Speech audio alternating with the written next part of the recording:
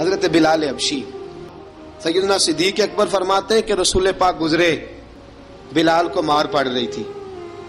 मेरे हबीब पाक की आँखों में आँसू आ गए। बेखबर हो जो गुलामों से वो आका क्या है?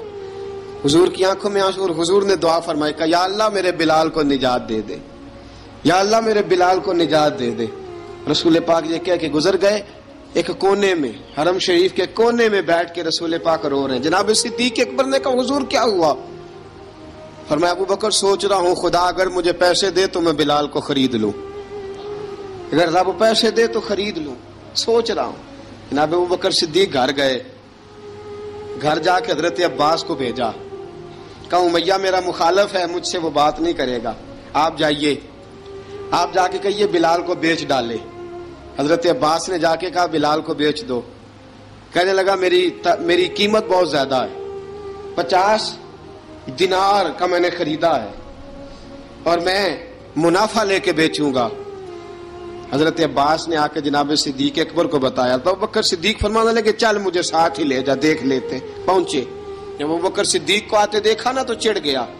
कहने लगा अबू बकर अगर तू बिलाल को खरीदना चाहे तो वो जो तेरे पास रूमी गुलाम है, वो मुझे देना पड़ेगा। दो लौंडियाँ उसके साथ देनी पड़ेंगी। और ये पचास दिनार का है, मैं तुझसे दो हज़ार दिनार लूँगा। पचास दिनार का है, दो हज़ार दिनार लूँगा। हज़रत सिद्दीक अकबर रदी अल्लाह तला ने फरमाया, मुझे मंजूर है। मुझे मंजूर है। मंजूर है मुझे। तो बकर सिद्दीक ने वो तीनों गैर मुस्लिम गुलाम लिए, दो हज़ार दिनार लिए।